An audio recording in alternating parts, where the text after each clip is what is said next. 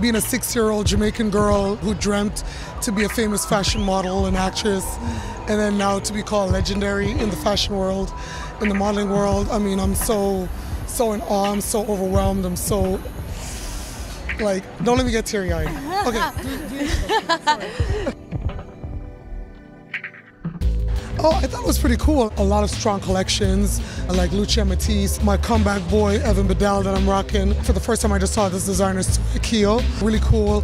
Um, Joe Fresh. You know, just really amazing designers. Rachel Sin. I'm hoping to see more Canadian talents that would get the opportunity to showcase, you know, their designs on the runways. It's really well needed, especially coming from Canada. And there's so many talents here that needs to be seen. There's so many Canadian designers out there that you know that left Canada and went abroad and made a name for themselves. But um, it's unfortunate that they really don't tend to come back home, and it would be great if we could have them come back home. I'm all about color. I love to see the lots, like so many colors. I'm quite surprised seeing like there's so many different colors, variations from the pastel to like the shockingly bright.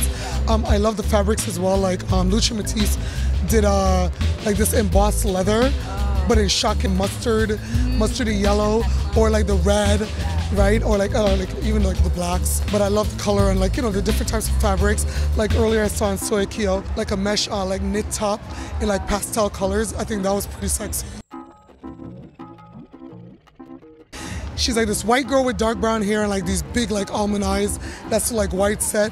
Um, she's been walking all the show. She's dope as hell. There's also that Asian chick that is mad dope.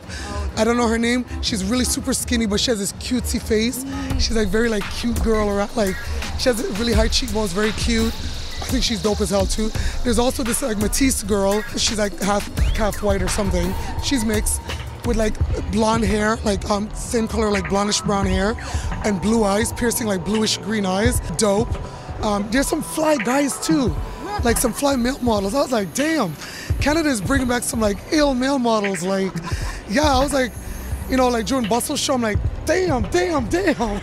Canada's producing some like fly ass bat boys.